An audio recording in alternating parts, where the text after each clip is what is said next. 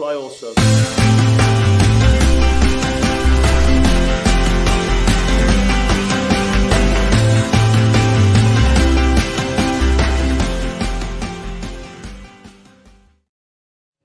Charlotte Soccer Show. John Hayes, Danny Brams. We're here.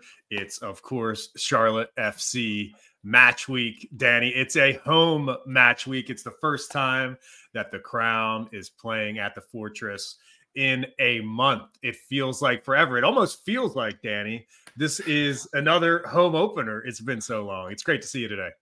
Feels like the first time. Yeah, it definitely feels like we're back. It, we said this when we did our season preview, right? That we were going to have the home opener and then it was going to be forever until we got back uh, into the mix. And uh, I can't wait to be a hot fly on Saturday, our presenting sponsor. Thank you, Hot Fly. Can't wait to tailgate with all the crew there again and then be in the supporter section on Saturday. Can't wait. Uh, amazing shout out. The tailgate at Hot Fly starts at four o'clock on Saturday. Make sure you're there. We'll be hanging out leading up to kick. Our friends at Ram Retro are going to be there again as well. So if you're looking for uh, a nice kit, I know Danny, you you purchased a nice kit last time at the tailgate. Uh, kits will be available at the tailgate through our friends at Ram Retro on Saturday as well. They're very friendly, and uh, yeah, come see me about maybe a discount. You know, if you know me, you can maybe get a discount.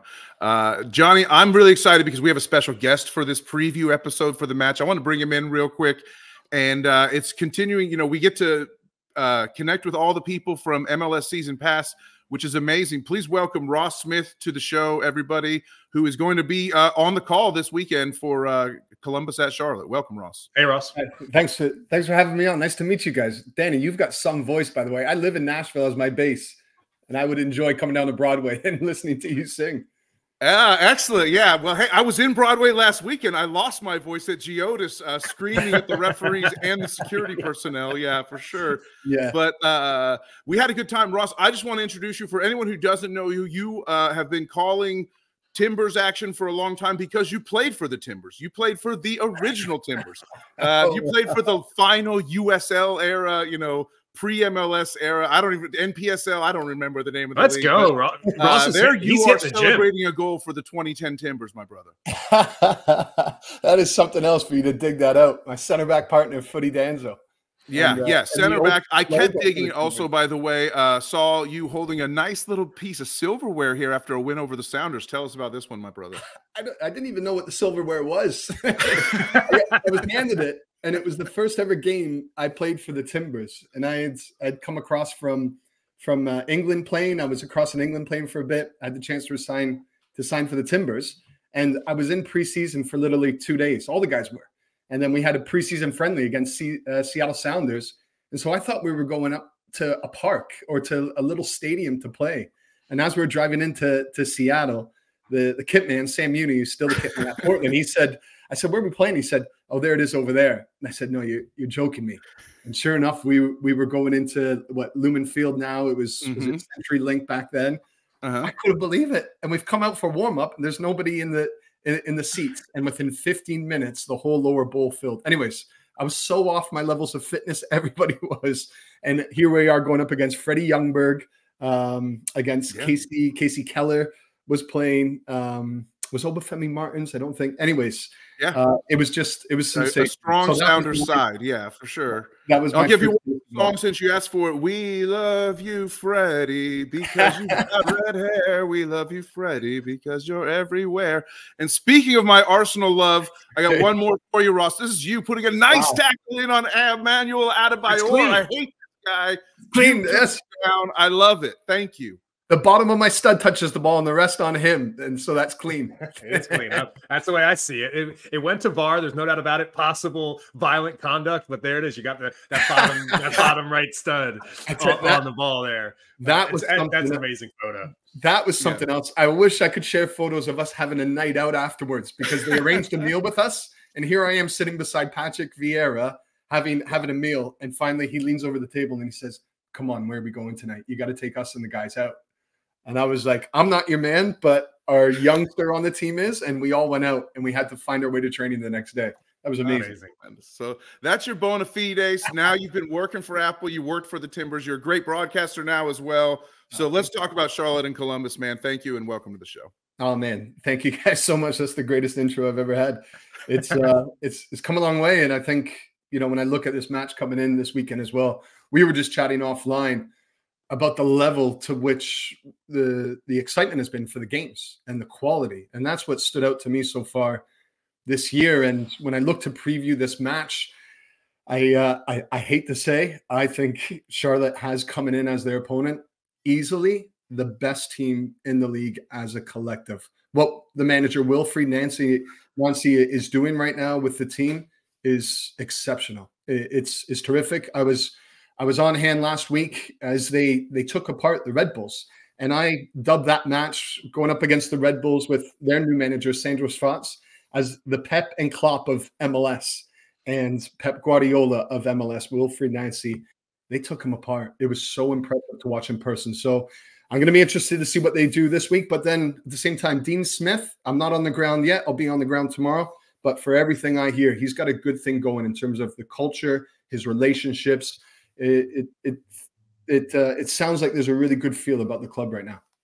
One thing that's interesting to me about this match is, and it's something that MLS does every season, is they will play through international breaks. There's there's some internationals on Columbus. We know that obviously Columbus is a good side. We know they they roll deep, but there's some key players missing this weekend potentially for for Columbus. Is is that going to have an impact on this match?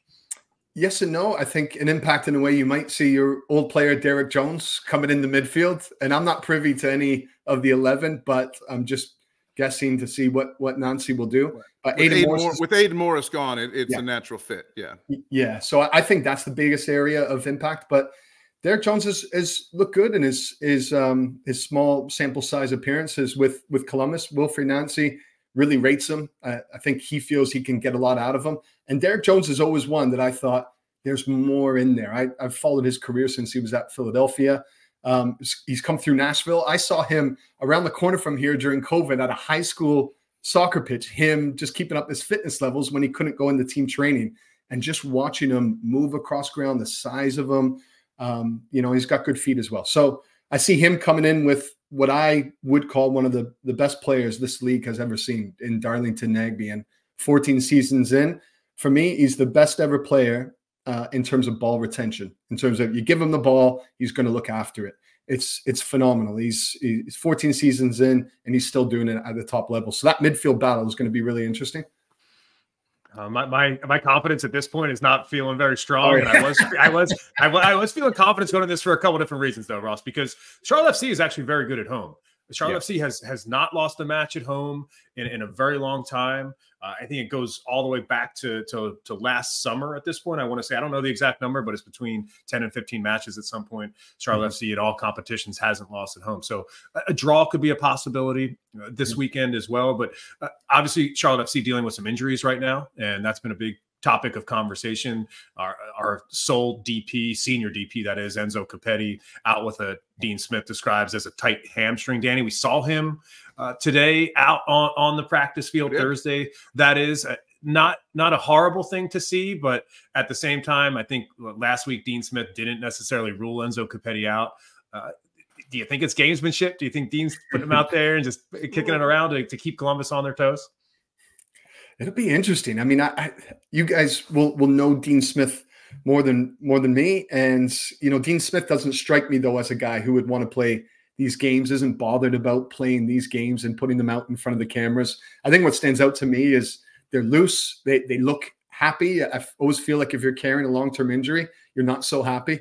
Mm-hmm. Um, and even little things like flicking the ball around like they're doing. Um, you know, they must be close. And you know, for Charlotte fans you know, hopefully close means they're involved this this weekend because they're a huge yeah, part to, to, what they're doing. Enzo Copetti, I know it hasn't quite worked out for him this this season or as a whole since coming to the league, but he's gotten himself in good positions this year and could easily have three or four goals. Um, so you know, to get him back and, and uh, just feel you know in, in the right spaces, Agyemang, could he be the main guy? I, I don't know. I thought last week showed some glimpses, but I just feel you need that that killer Copetti, even though he hasn't shown that consistently. Mm-hmm. But I think he carries with him like you know he's someone that could always pop up. And Vargas, I think on his day is is terrific to watch. Just lacks consistency. But anyways, that would be a huge lift if they're both back in for uh, for this weekend. Yeah, I mean, Kerwin was an ankle issue where he got uh, pretty hard tackled and went down and was down for a while and then tried to carry on and then have, had to sub off, you know, a couple minutes later. Yeah. Enzo, as a guy who is a striker who specializes on running in behind, and that's what Dean has instructed him to do, I'm willing to wait for him to come all the way back. I don't want him rushing back with a hamstring. You know, I, I don't think that's a wise decision. I'm not a mm. doctor, but we have what we it takes in Agyemang to get goals. He had a great chance at a header that went just wide really wish that had been on target, to be honest. Uh, uh, yeah. late against uh, Nashville that could have you know brought the point back, but I feel like Charlotte's just on the verge, and I think that's why a lot of us might be a little bit nervous. I feel in the Charlotte fan base because we've seen a culture change under Dino, but is is the result really going to be there? Our results are better because we've had horrible starts to the season, our first two seasons. Yeah. Uh, what are what are you looking for in terms of Charlotte? Even if beyond the result, if we have such a tough matchup coming in, what can we show you uh, to show continued progress and, and uh, rest fans rumbling stomachs? Yeah, I, I mean, I, I, do have to remind that I know, eh, you know, it'll be quickly remembered that you did beat Columbus last year. I was calling that game where you beat Columbus, and was it? Oh, yeah, oh, yeah we did. Yeah, scored uh, scored a great goal uh, on that day. Um, I, I think the key is uh, for me when you start to find out that link between the midfield and the uh, attacking half. And when I mentioned Karol Swiderski scoring that goal last year, I thought at times, I think the difficult question was where is he best suited on the pitch? And when he was playing the number 10 position, for me, that's when he was at his his best or false nine coming in. So that link up play into that front half and providing that service for for Kebede or if it's Agyemang will be uh, will be key. And it'll be key in transition as well. Um, Columbus are terrific on the ball. And so when you do win the ball, you have to be smart with it. You have to look after it. And I know Dean Smith wants to go quick in transition when they win the ball, but if nothing's happening, to be able to then uh, to knock it around, have that possession, it's just going to be so important because I watched the Red Bulls. They they had their legs uh, run into the ground last week. That Columbus Crew just passed their legs off last week, and the Red Bulls couldn't get close to them after 60 minutes, 70 minutes we're we're not we're like close to being back to full strength with the new DP coming in hopefully next week after international Abada, and so it's like if we can just get through this, I, I don't know. It does help that we're at home, as Johnny said, right, John? I mean, we we have a mod around here: protect the fortress, defend the keep. Sort of go with our whole crown theme. what do you feel, Johnny? Are we going to do it this weekend or what? Well, hearing this conversation, right?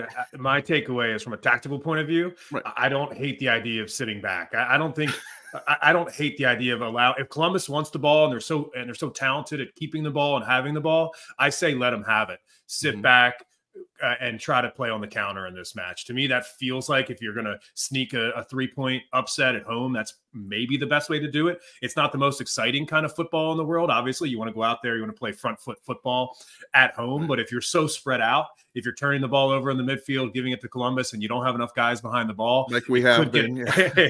it could get out of hand easily. What do you do? You think that's not um, a bad tactical plan against Columbus? I, I like Agyemang when he's running in behind. So I think the size of him, his his hold up play, I think needs work. And look, I've got a soft spot for him. Uh, we went to the same same school, University of Rhode Island. I know his oh, no head way. coach well, really well. So I've never met Patrick before. I've always looked forward to meeting him, but I, I think he's got a huge upside. And one of those is when he's getting the, the, the defender on his shoulder or on his back, he can roll him, he can run, he moves well. Um, so to your point, the uh, the kind of sit and and then to be able to break, I think it could be a great tactic to be able to use. I also think Malanda and um, and Privett, I think they have some work to do, and I think they've got a great manager to be able to show that work. But I think you know for them pressing and, and going forward, which we saw in their Christian Lattanzio, I thought when it worked, it was great last year, the one v one marking, but. The, they, they showed in any center back would show vulnerabilities when it doesn't work. And I think they got exposed quite a bit last year. And I think for them, they need bodies around them. So to be able to sit in, and if you have Agyemang up front, you know, with his pace, with his physique, um, I think it, it, it, could work. Well, here's some good news, right? You're coming to Charlotte uh, tomorrow. You're flying in. Uh, heading over to training, so make sure you get Patrick. Uh, take eh, take him aside tomorrow. Meet him at training. He's a great guy. Yeah. And to, to pre- prepare for that, just uh, go on our YouTube page, Charlotte Soccer Show. We interviewed Pat on Sunday. We had at Crown Legacy's opening match of the season, the MLS Next Pro team. Patrick stopped by. We did a pregame show there, and we and we we talked to him. He seems like he's enjoying his football, and believe it or not, uh, and I think this is really difficult, right? And and, and from your perspective, somebody who's playing in that center back role I imagine you logged many full 90s in your career, right? this this past Saturday was Patrick Agyemang's first full 90 in MLS, and now he's got to turn around and potentially do that again. That's yeah. it's it sounds easy, but uh, tell us how difficult that is for a player to go back to back full 90s for the first time in MLS. Yeah, I think more the emotional side of it and the recognition. This is your chance. This is your chance. You have a new manager in as well, and you know we've we've seen it in you know other teams where all of a sudden um, like Duncan McGuire, for instance, he ousted for Orlando City. He ousted the, the designated player striker for Orlando last year. And uh, Duncan McGuire, just a young kid out of college. And so it's there for you. And it's a similar situation. Copetti hasn't really been doing it. Agyemang has his opportunity now. So physically, mm-hmm. I, I think he'd be up to it. I think it's that emotional um, the the emotional sort of letdown from last week. He, he, didn't. He had a few big moments that really didn't go his way. I think it should have been a penalty uh, against Shaq Moore. Um, you know, so a couple moments didn't go his way. How does he turn that around this week at home to be able to say, right, this is my opportunity? Yeah, that's a great. Shot. I wasn't going to show this. I wasn't going to show this, but but you did have it. You brought it up, Johnny and I. Before you popped in, Ross, I was like, I probably won't show this, but if Ross brings it up, I just want to have it. But yeah, what do you you guys think? It's a penalty? Yeah, yeah, it's worth looking. It's worth the ref at least going to check. I know it was a bad, it was, it was inconvenient timing for that to happen. And, and, and the penalty spot, it's interesting because you've had uh, you were awarded a penalty against New York, mm-hmm. and uh, and Vargas has missed it. You had a penalty VAR that went against you in Vancouver. VAR went against you in Toronto, and no penalty call in Nashville. So the penalty yeah. spot has been a talking point for for Charlotte. Yeah. yeah, absolutely. And Dean, Dean Smith hasn't uh, hit from that, by the way. I, I, was not expecting him to to kind of speak up about it, but uh, he called it a stonewall penalty, and uh, it's just one of those things. It's it's the way the, the ball bounces, right? It's a long season. You're, the referees aren't always going to be perfect. So for me, uh, when you when it goes against you uh, so many times in a row, that makes me think Charlotte FC's due uh, for one to, to get a break go their way on Saturday night. Yeah, absolutely. Yeah, I I agree with that, Johnny, wholeheartedly. Uh, Ross, while we've got you, I want to make one more little connection here, which is that uh, you have a lot in common with Agyemang. He went the full 90. You also have some things in common with another guy who went full 90 on the complete opposite edge of the uh, end of the age and experience spectrum, Scott Arfield, uh, mm-hmm. man with UK and Canadian roots like yourself. Uh, he's maybe a little more UK, you're maybe a little more Canadian, but uh, maybe you'll get a chance to meet him. Maybe you, he, Great. he, or he's probably a better guy. When uh, when uh, when Man City came to Portland and asked you where to go out on the town, you deferred to the young guy. I would not ask Patrick. I would ask Arfield. I would ask Arfield where to go out on the town here in Charlotte when you get to training. But for sure, tell me your thoughts just about. You talked about no connectivity, uh, the connectivity we lost with Karol Swiderski leaving is Arfield or Dejaegere, from what you've seen at all, like, are they the guy to do it? Do we need to go get a new DP number 10 in the summer? Like, where are you at with Charlotte's attacking connectivity? Can we find it long term? Yeah, I, I don't know where to land on Dejaegere. I just, I, I don't know what separates him to make him special. And I always look at that in this league. Okay, what what separates you from from the rest? I, I talked about Nagbe and his ball retention, and that's what's made him supreme. Dejaegere, I I don't know. Um, with Scott Arfield, I think just the the uh, the experience that he has, the calmness, and you know what I would lead to believe, uh, a leader in the dressing room as well, that voice. Mm-hmm. So for sure. But I, I think you need more. Um, you, you, you definitely need more in there, just given what the league has done in this offseason. It's been a terrific offseason as a whole for MLS and seeing what's out there, which is maybe one of the the great things that I get to do in, in this position, you know, having chats with with guys who are on the ground, know all the nuances like yourselves, um, and seeing you know what the storylines are around the league. And so for Charlotte to be able to keep pace, it, those are good names that you've mentioned, but I think you you need a couple of really great names to come in. I'll, I'll, def- I'll defend Dejaegere by just saying he did get the pullback goal right before half at Nashville, and he has our only he had our only assist on the year before that before he finished that one. So yeah, and Aj- sure. Agyemang had a nice touch into yeah. that as well. He did, yeah. At the secondary the from, uh, from Patrick to create it to Yeri was real nice for sure. And, yeah. and, a, and a nice mentality from Dejaegere as well, mm-hmm. considering mm-hmm. it was the first time this season he, he did not get tapped on the, the back to, for the start, and mm-hmm. there's an injury, and then he comes yeah. in and, and still impacts the game and, and has a positive um, outcome. I do agree. I wouldn't mind another, you know, DP number ten with you know. Yeah. in, you know. Well, uh, you, uh, Great, you're, Griezmann, let's go. You know, yeah. you, Ross, your, your, That's your a colleague, your colleague at um, at Apple MLS Season Pass, uh, Sacha Kljestan, came on the show and said, "This is a this is a number ten league, and uh, if you don't have a, a DP number ten, you're you're probably a little bit uh, far behind." And that's that's kind of where I want to transition with you is so Danny and I get to uh, have boots on the ground here in Charlotte and and really get to focus on this club. And uh, you're somebody that gets to travel all over the country, um, all over uh, North America to see all these different clubs and and MLS as a whole. What's what's your what's your week look like, right? When you get assigned a match Yeah. and you get to uh, dive in and, and learn about all these different teams. Uh, it obviously it's super fun, but it's it's a lot of a lot of work too. It is. And for that, it's a, a beast that I, I never would have seen coming when I got into this role before with the Timbers. I would I would know the Timbers the ins and outs, like Diego Chara. What does he like having for breakfast? I'd be able to tell you all those things. And so my match prep was just okay, let me let me focus on the other team. But essentially our, our ownership and and the local broadcast, they want to hear mostly Timbers. So 75% Timbers, 25% the other way. So now turning to 50-50 and digging into the nuance, I find it it starts on a Sunday. We get a message from our our producer, whoever our producer will be for for the following week. We get a message on Sunday saying, "Who do you want to talk about?" And you think, "Oh my goodness, I've just finished diving into these other two clubs. Now I've got to turn my attention this way." So really, it starts from Sunday afternoon, and and I get back to that trying to find the nuance and making sure that that nothing's missed. You don't miss a little unique storyline that you would have just naturally had when I was the local broadcast. So that's the biggest challenge and, and building up. And you know, on the Saturday, just making sure all the notes come together. But that's the most fascinating thing at the same time when you do find the storylines and you I just see the league in a different way now. I've stepped outside of my bubble and I see it in a different way. I, I, I get to network, I get to have more conversations. It's it's fascinating, but it's it's exhausting at the same time. I will say this: when you, I, I sure you do trust doing your own research, but whenever you need sub to that YouTube channel, like we, like John mentioned earlier, you want to see the Agyemang interview, hit the sub. Everybody watching, if you've watched this far, twenty minutes in, hit the sub. Give us a like; it helps. It helps uh, spread it all around, and uh, we will always keep you abreast on everything going on with Charlotte Ross for sure. Oh, it's it's great. The the local presence I've I've I, I love, and to that point, I learned so much from guys like you, which is great.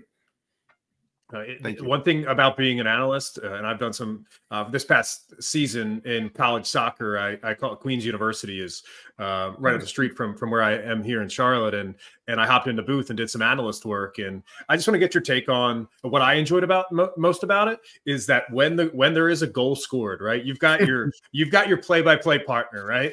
And th- they call the goal, and you're just sitting, you're quiet, you're waiting in the wings. It's your time to bring the energy. How fun is it for you after a goal? Your play by play partner has a great call, and then the producer's in your ear and says replay coming, and it's your time to own it. You know, it's like you, you do you think about bringing the energy in that moment? Yeah, I think I, I- don't know how you handle it, John, in terms of because I you can see different formulas for for that for that goal goal call or the breakdown afterwards. I'm usually thinking, okay, what where did this start? What was the key to this moment? And it, I had a great boss back in Portland who who just preached to me, tell me the why. Don't tell me the what. Don't tell me that Vargas got the ball, he cut in. What a great shot that was. It's well, why is that a great shot? Why was he able to get into that area? So my mind starts doing all that. But then at the same time, you're getting into the ear of the producer saying, Hey, can you? Sh- I saw something here. Can you show me it? And when you, we, we've got a great producer um, this weekend. We call him Buck and um, and, and Ken Neal, who are have such great experience that I could get into the ear to Buck real quick. Say, Buck, I saw it, and he's like, I already see what you're seeing, and so that helps. And so you're getting that picture, and you know what you can focus on. So that's a long-winded way around to say it's exciting, but it's that calm of like, okay, I need to capture this this moment of brilliance. This is what made the difference. I need to communicate that to the producer, and then I need to try and communicate it to the audience. I've got a feeling that on our Sunday show, we, we always do our, our Sunday show live at Hot Fly Brewing Company here in town, right on South Mint Street, just a few blocks down from the stadium.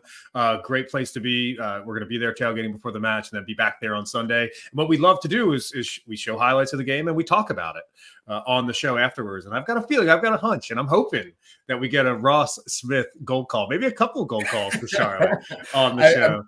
That's that's good. I'm fortunate. The guy I work with, Tony Husband, he uh, long long time with the BBC, has done Premier League matches. I love his goal calls as well. When it when it comes through, it, it's terrific. He it just I don't know it it just got a way about him. He's got a turn of phrase, but uh, that's really neat what you guys do. I would love to check it out sometime.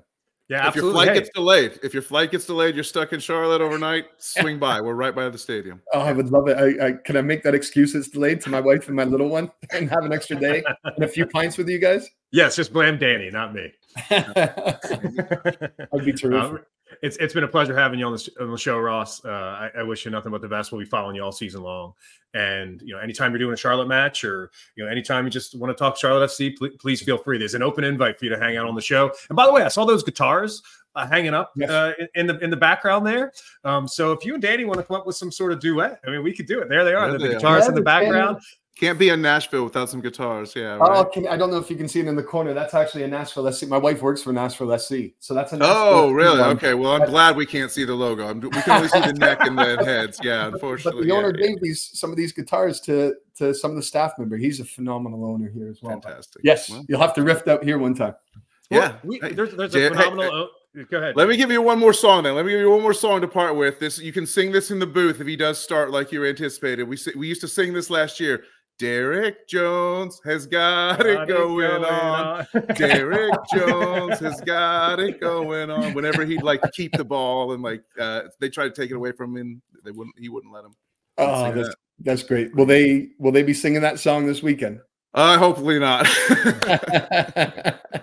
I'm ready. That's great. Uh, cheers, cheers to you, Ross. Thanks so much for, for previewing the game uh, with us on Charlotte Soccer Show, uh, presented by Hot Fly Brewing Company. Saturday night, 7:30 Eastern.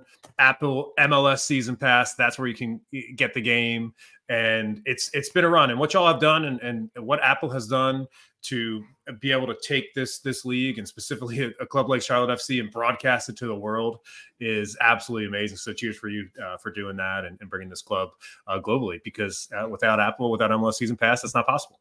Oh, what kind words, guys. Thank you so much. And the intro as well. It's the best intro I've ever had to all this. So thank you for your research and your care. It was great fun. Absolutely. We'll, we'll see you soon, Ross. Cheers. See you soon, guys. Thank you.